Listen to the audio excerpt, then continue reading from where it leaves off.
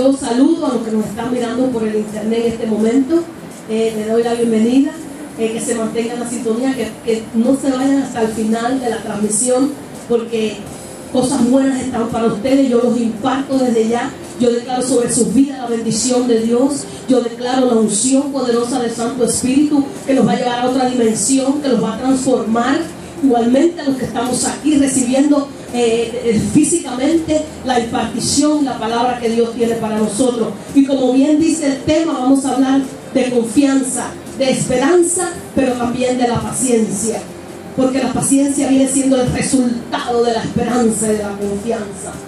Entonces yo quiero que ustedes presten atención en este día a la palabra que vamos a traer. Vamos a comenzar con, con el Romanos 8, 14, 24 y 27.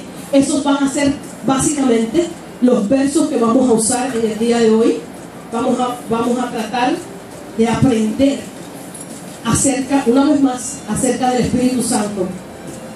Porque hemos estado hablando en estos tres días, en estos tres domingos del Espíritu Santo y vamos a continuar hablando de él, de la persona más especial que el Señor ha mandado. El Señor ha sido tan bueno que nos ha mandado su propio Espíritu a que more dentro de nosotros.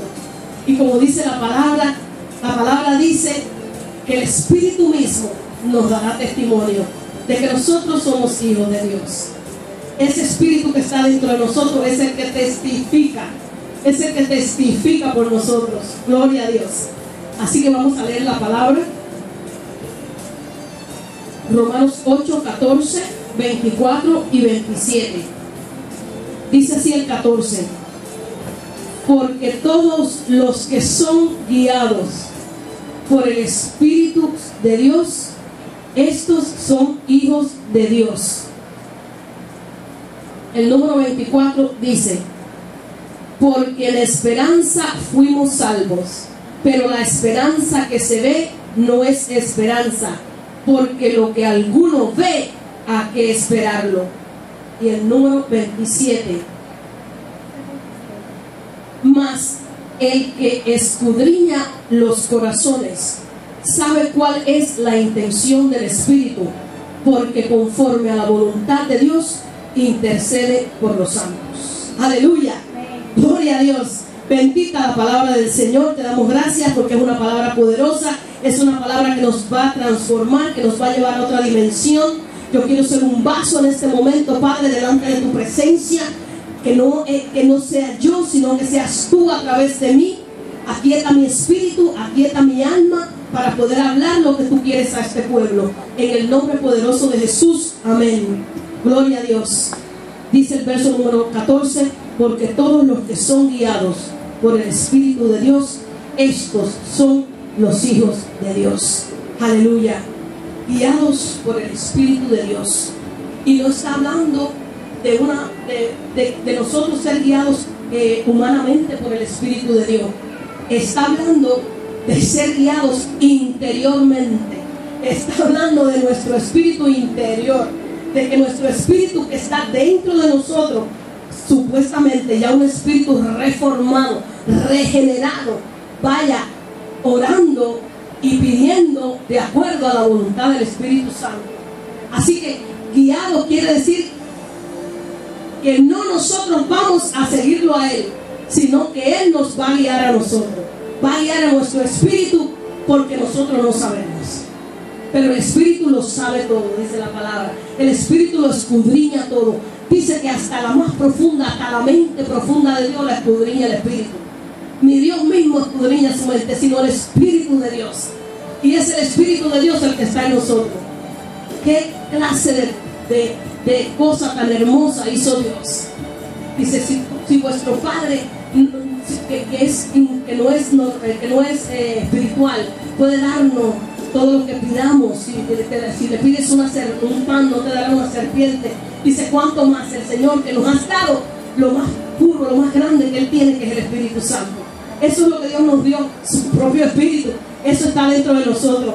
Pero cómo nosotros caminamos bajo esa voluntad, cómo nosotros miramos eh, eh, a ese Espíritu que está dentro de nosotros. ¿Cómo es que nosotros podemos ser guiados por ese Espíritu que está dentro de nosotros? Esa es, esa es la pregunta. Esa es la cosa que Dios quiere con nosotros. Nosotros no podemos ser guiados por el Espíritu Santo si estamos siendo guiados por circunstancias. Nosotros no podemos ser guiados por el Espíritu Santo si estamos mirando lo que el hermano hizo. Nosotros no podemos ser guiados por el Espíritu Santo si estamos mirando lo que los siervos de Dios hacen.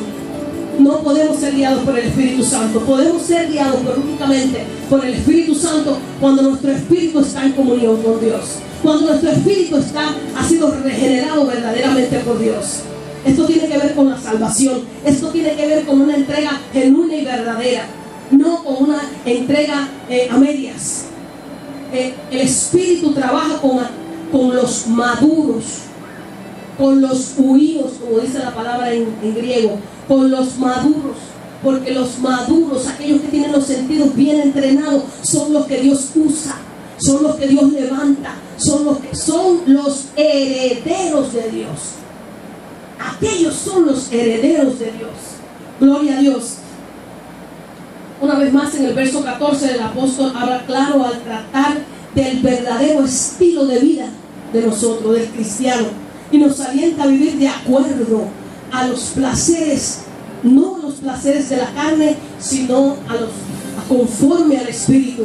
Este es un llamado a nosotros los cristianos a vivir no conforme a nuestros deseos, no conforme a las circunstancias, sino vivir conforme al Espíritu Santo de Dios, a lo que el Espíritu de Santo dice, a lo que el Espíritu de Santo hoy nos habla. Se supone que el cristiano debe ser progresivamente, debe hacer morir el hombre viejo, debe hacer morir el chisme, debe hacer morir el orgullo, debe hacer morir el egoísmo, debe de hacer morir, morir la mentira. Eso es progresivo, es progresivo entre nosotros los hermanos, los hijos regenerados por Dios, Dice la palabra que aquellos que son guiados por el Espíritu son los hijos de Dios. Si nosotros no estamos siendo guiados por el Espíritu, entonces ¿quién es quien nos está guiando? ¿Quién nos está guiando? ¿Nuestra propia mente? ¿O nos está guiando eh, la voz del diablo, la voz del vecino, la voz del amigo? A nosotros nos tiene que guiar el Espíritu Santo. Mientras más nosotros seamos guiados por el Espíritu, más podremos hacer la voluntad del Padre.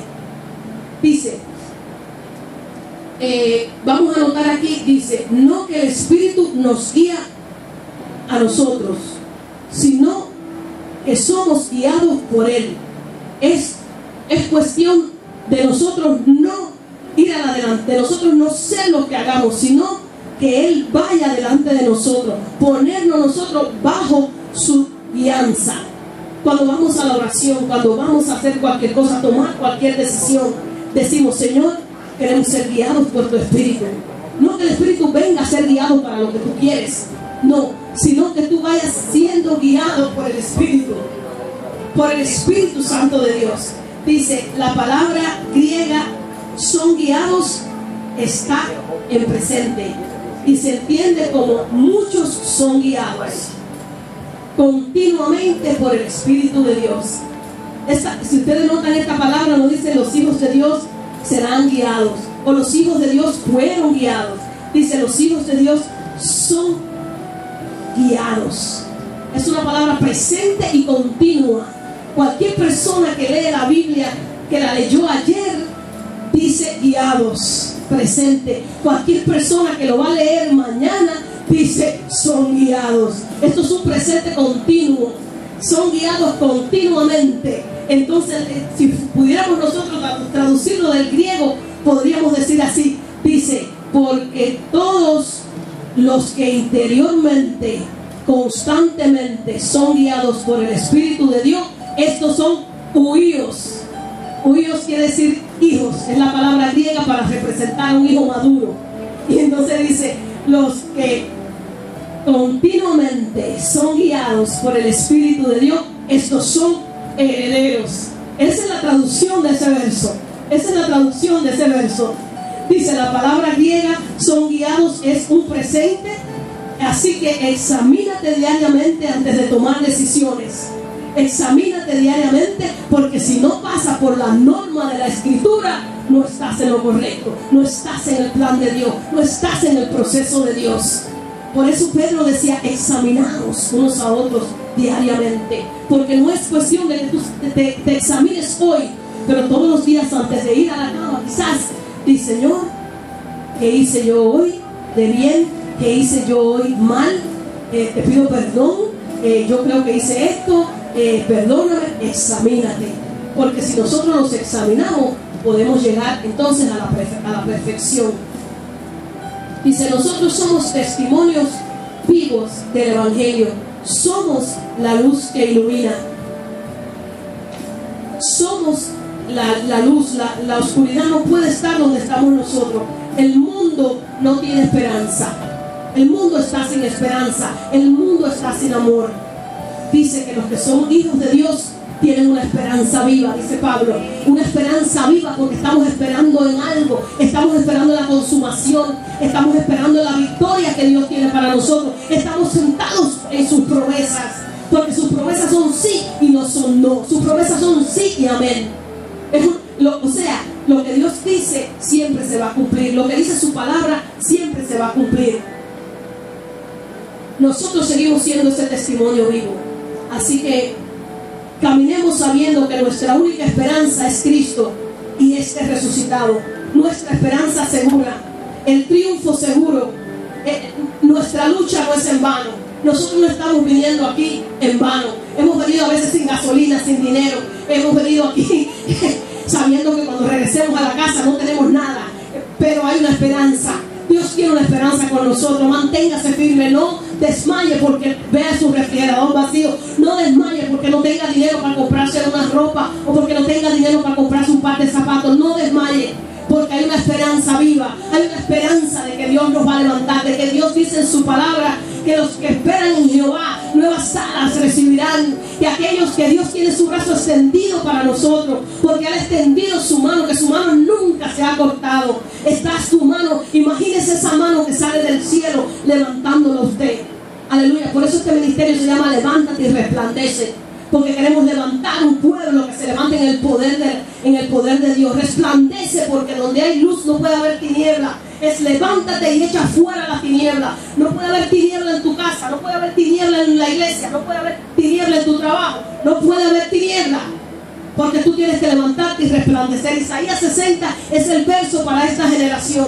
Es el verso que está diciendo que un pueblo, un pueblo llamado y escogido está tiene que resplandecer en medio de las tinieblas, aunque el país vaya en retroceso, aunque la bolsa de valores se caiga. Eso no es para nosotros los hijos de Dios, porque nosotros no vivimos conforme al mundo, nosotros no vivimos conforme a la carne, nosotros vivimos conforme al Espíritu, nosotros vivimos conforme a las normas del cielo, a las normas de mi papá, a las normas de un reino sobrenatural. Ese, ahí vivimos nosotros, bajo las normas de un Dios que lo dice, que lo cumplió que abrió el mar rojo, que destruyó los muros de Jericó con gritos, que frenó la violencia, que levantó al pueblo, que levantó al pueblo más significante del, universo y que lo sigue sosteniendo hasta el día de hoy. Porque Israel está siendo sostenido por Dios. Dios es quien sostiene a Israel. Por eso nos manda que oremos por la paz de Jerusalén. Gloria a Dios. Es una esperanza seguro. El triunfo es seguro. Que nuestra lucha no es en vano. Aleluya. Gloria a Dios. La idea central del libro de los romanos es que todos los pecadores sean hijos de Dios. Que a los que Él engendra su vida natural le da poder y le da victoria. Esa es la idea del libro de Romanos, que todos los pecadores vengan a ser sus hijos de Dios. Pero sabemos que no, que para ser hijos de Dios hay que arrepentirse, que para ser hijos de Dios hay que cambiar la manera de vivir. Tenemos que cambiar la manera en que estamos viviendo. Dice, los hijos, ¿a se refiere? A los maduros. No se está refiriendo a los terios, no se está refiriendo a los niños, a los inmaduros, se está refiriendo a los maduros, a los que por el a los que por el uso del sentido tenemos entrenado el discernimiento para el bien, para el mal. Sabemos cuando estamos en el bien, sabemos cuando estamos en el mal. No es tanto como aquellos que hacen las cosas, hijos inmaduros que hacen las cosas y no saben si no saben si lo hizo bien o se lo hizo mal. No, nosotros somos hijos maduros. Nosotros tenemos que saber cuándo lo hicimos bien y cuándo lo hicimos mal. Aleluya. Los hijos de Dios son aquellos que dejaron de ser niños y están en la etapa de la transformación de su alma. El cuerpo nunca va a ser transformado, transformado para engordar o para descansar. Pero el cuerpo nunca va a ser, eh, la carne nunca se va a convertir. La carne jamás se va a convertir. Usted puede ponerle vestido en mangas largas, vestidos largos, arriba una chaqueta, puede poner taparse la cara, dejarse cubrirse el pelo, dejarse la nariz afuera, dejarse la mitad de los ojos. No te vas a convertir. Eso nunca se va a convertir porque debajo de ese disfraz existe el verdadero yo. Está la carne saltando. So, es el espíritu, es el alma lo que necesita la transformación. Y la lucha está entre el espíritu, la carne y el alma. El alma, el, alma está aquí, el espíritu aquí y la carne aquí. Y la, y, y, la, y, y la carne dice, ven alma. Y el espíritu dice, ven alma. Y es una lucha. El alma, eso es lo que se pelea. Eso es lo que se pelea. El alma. ¿A dónde va el alma? Esa es la lucha que tenemos nosotros los cristianos y que tiene el hombre. Entre el espíritu, la carne. Peleados por el alma. Peleados por el alma.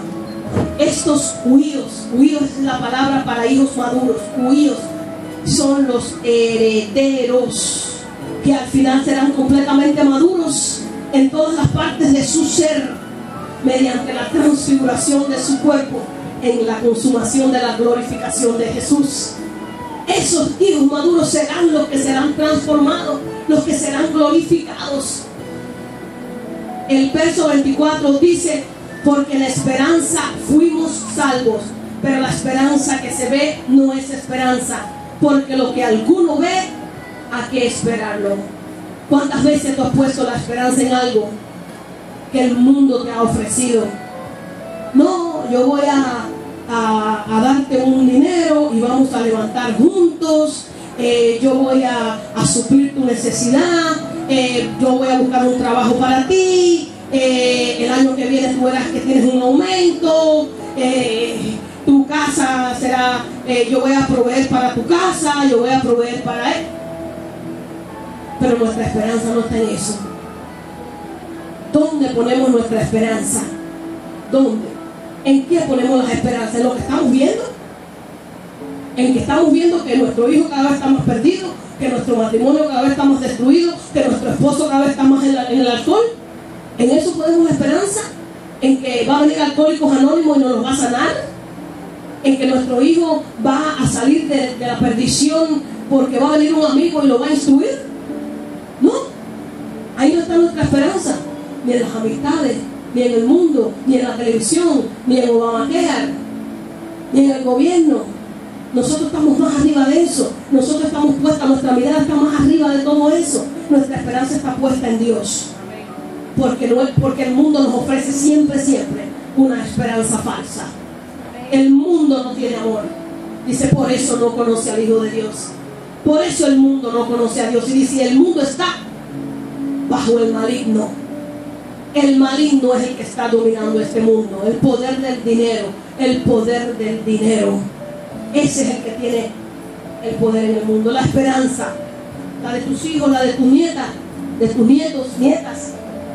Ya Cristo la vio. Desde antes de la fundación del siglo.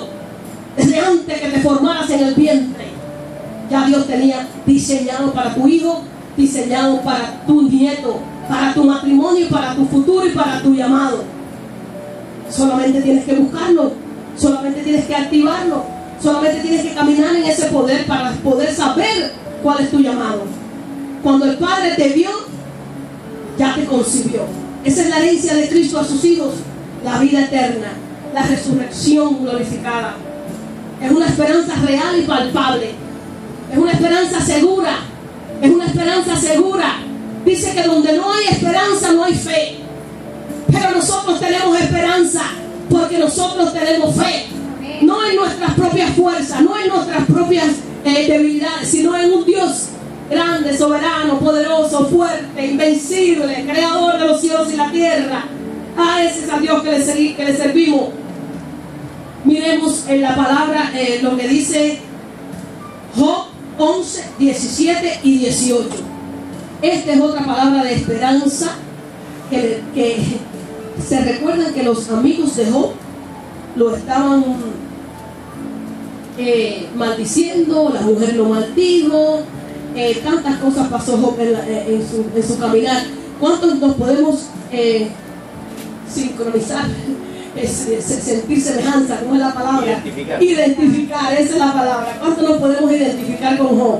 ¿Verdad? Muchas veces a los amigos nuestros nos han dicho, ustedes están siendo probados como Job. y es que Dios nos prueba. ¿Por qué Dios nos prueba? Porque quiere sacar lo mejor de nosotros, porque quiere que, quiere que lleguemos a ser eh, como Cristo. Cristo no fue probado hasta la muerte, ¿verdad? Hasta la muerte, hasta derramar su sangre. Pues Dios quiere que nosotros, nosotros no podemos ser, nosotros no podemos pertenecer a, las filas de Jesús si Jesús no, no, nos- no nos prueba. Porque si el presidente, para ser guardaespaldas del presidente, necesita ser, entrenado y probado, ¿cuánto más para ser hijo del Dios Altísimo? Del único Dios soberano, del único Dios grande, del verdadero, pertenecer a un reino inconmovible, a un reino que, es, que, no, que no se destruye, a un reino que es eterno. Para allá vamos nosotros a vivir un reino que es eterno. No hay un precio que pagar. Ya Cristo pagó el precio en la cruz, pero nosotros tenemos otro que pagar. Tenemos uno que pagar. ¿Cuál es el precio que pagamos nosotros? Dejando de ser nosotros mismos para hacer lo que Dios quiere. Y cuesta, y cuesta, porque el yo siempre está adelante. El ego siempre está adelante. Cuesta. Así que cuesta. La salvación cuesta. Dice Job 17, 11, 17 y 18. Dice, la vida te será más clara que el mediodía, aunque oscureciere será como la mañana. Tendrás confianza porque hay esperanza. Mirarás alrededor y dormirás seguro. Por eso tenemos confianza. Por eso es que tenemos confianza de que todo nos va a salir bien.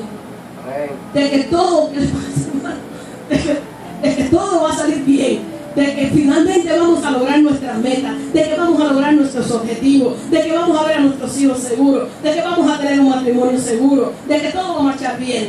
Porque nosotros tenemos la esperanza y nuestra mirada puesta en el que lo va a hacer. En el que, lo, di- en el que ya lo hizo. En, que, en el que lo hizo antes de la fundación del siglo. En ese está puesta nuestra esperanza. Eh, ¿Cuál es la llave? ¿Cuál es la llave nuestra que nosotros tenemos? Que nosotros tenemos. La paciencia es victoria. Eso es una llave. La paciencia es una llave. Eh, ¿Cuál es la llave que nosotros tenemos para nosotros poder arrebatar todas estas cosas, para poder caminar por- en el Espíritu, para ser guiados por el Espíritu, para ser los hijos de Dios verdaderos, para ser hijos de Dios maduro? Una de las llaves es el arrepentimiento. Esa fue la, la- la- la llave principal de- del verso de, de, ¿cómo se llama?, de Juan el Bautista. Juan el Bautista predicó el arrepentimiento, donde quiera que iba era predicando el arrepentimiento, porque él quería que el, el arrepentirse. He escuchado muchos pastores que dicen arrepentirse es ir por aquí y hacer esto y caminar por el otro lado cambio de vida, ¿verdad? Pero cuando uno estudia un poquito más profundo el hebreo, el griego, para saber la palabra arrepentirse, bueno, en el, hebreo, la palabra arrepentirse quiere decir volver a ser como era en el original. Y pero ¿cómo yo era en el original? ¿Cómo yo era en el original? Como cuando era un niño, ¿eh? Como cuando era un niño. Que era guiado por quién? Por mi padre. Que tenía una mente ingenua, que no, que no conocía, yo miraba siempre a mi papá como un Dios. Vuelve a ser como en el principio. Como en el principio la mente de un niño es- es ingenua, inocente. Eso es lo que está esperando Dios, que nosotros, que el arrepentimiento es eso.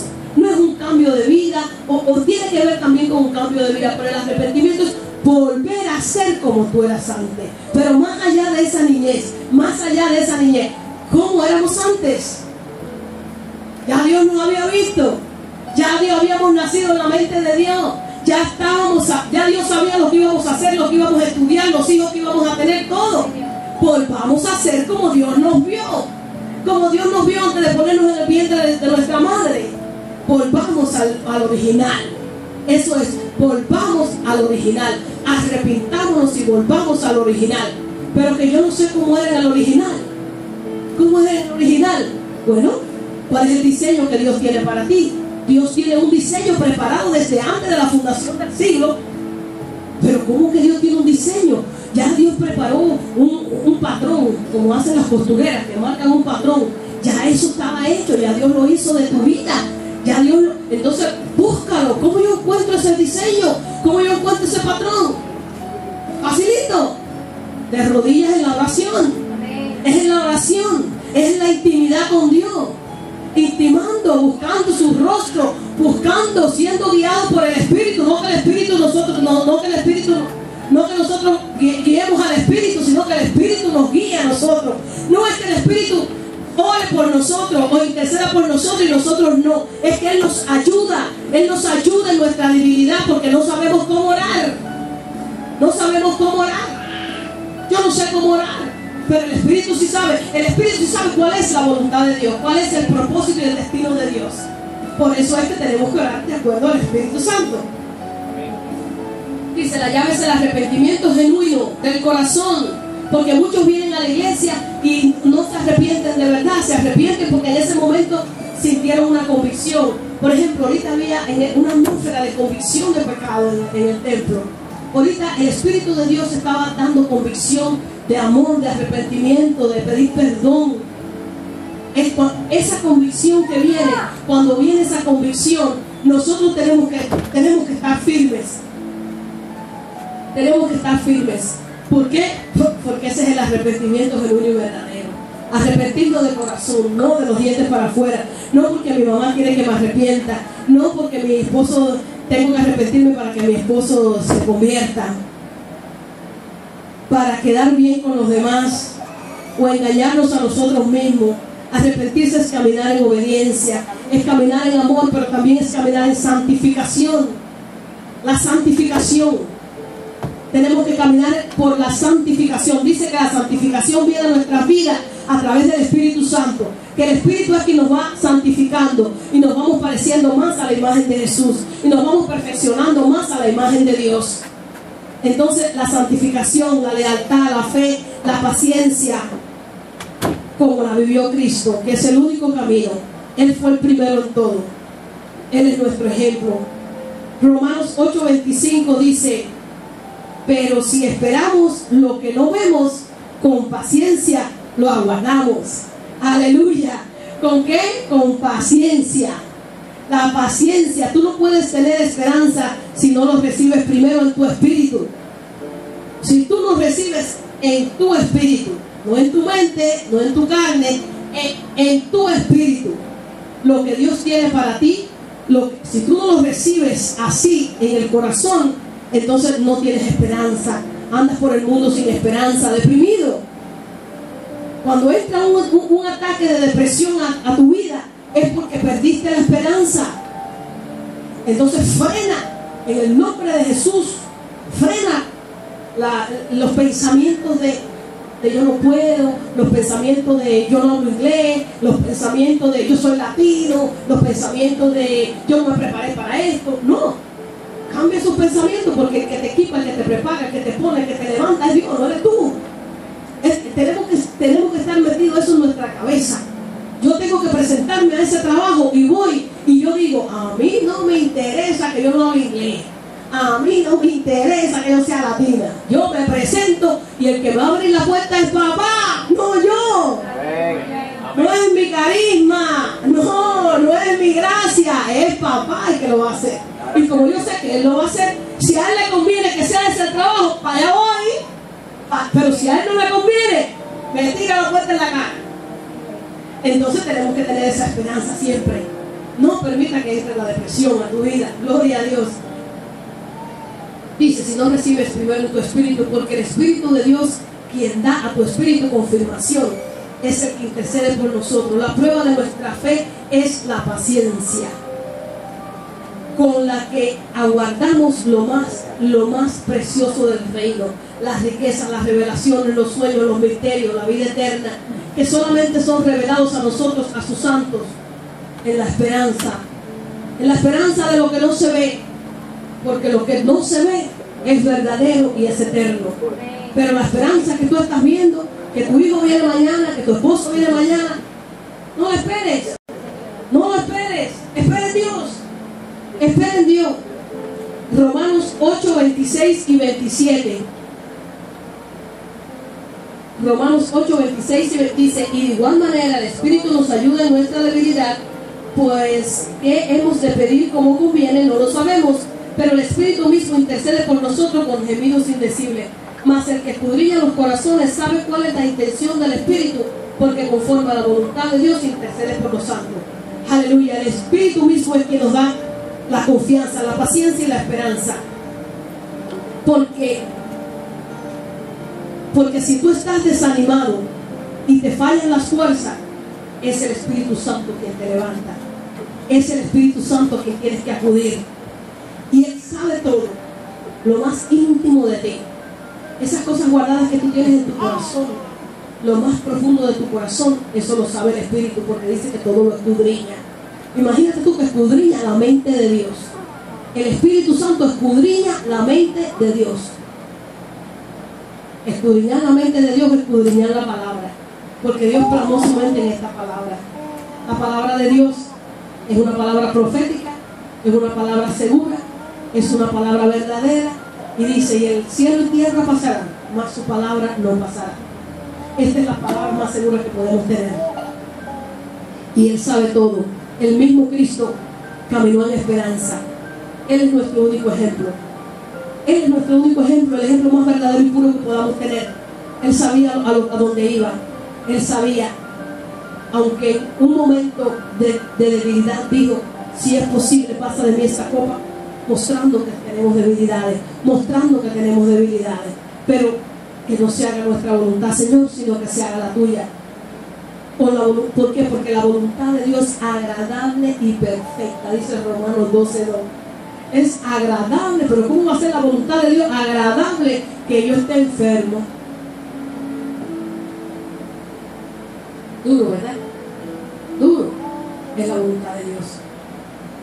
¿Por qué? Porque en ese proceso por el cual tú estás pasando, Él va a mostrar quién es Él en tu vida. Eso es lo que Él quiere, mostrarse. Él, Dios es celoso. Dios es celoso. Cuando uno dice la palabra celo, es una enfermedad. El celo es una enfermedad. Mira el celo humano. El celo entre los hombres las mujeres, hijos, esposos, hijos que no quieren que se casen las mamás. Es enfermo. Pero el celo de Dios es para nuestra bendición, es para nuestra eh, prosperidad, para nuestro ejemplo, para todo. Así que terminamos leyendo, vamos a terminar, hermanos, leyendo el verso 28 todos juntos. El verso Romanos 8, 28. Así que pueden decirlo conmigo. Y sabemos que los que aman a Dios, todas las cosas les ayudan a bien. Esto es, a los que conforme a su propósito son llamados. Aleluya. ¿Qué es lo que nos queda a nosotros? Amar a Dios hace que pongamos, cuando nosotros mostramos el amor a Dios, hace que pongamos la atención en su deseo, no en el nuestro. Dios responde cuando el Espíritu intercede por nosotros, no cuando somos nosotros en nuestra alma carnal. Cuando el Espíritu es el que intercede, Dios responde. Por eso hay veces que ven oraciones respondidas y oraciones que no se responden. Porque depende cómo fue la oración. Siempre Dios escucha tu oración. Pero hasta que no sea de acuerdo al Espíritu, no viene la respuesta. Dice, el propósito de Dios es producir muchos hermanos de su Hijo Cristo. Con el mismo ADN y con la misma característica. Con el mismo carácter, semejante a Él. Ese es el propósito de Dios. Muchos Jesucristo, muchos hermanos de Jesús. Aleluya, porque por ahí andan unas eh, sextas diciendo que nosotros somos, que cada ser humano es un Dios. No, no es así. No es así. Es que nosotros somos semejantes a Jesús. Somos hermanos de Jesús. El mismo ADN, el mismo carácter, la misma semejanza. Gloria a Dios. Poseemos eso, eso lo poseemos nosotros. Aleluya, gloria a Dios. Así que gloria a Dios, yo los exhorto a que sigan firmes en el camino, a que no se aparten de la verdad, a que sean guiados por el Espíritu Santo. Yo bendigo a los que nos están mirando por el internet, los declaro bendecidos, los declaro prosperados en el nombre poderoso de Jesús. Amén. Gloria a Dios, gloria a Dios.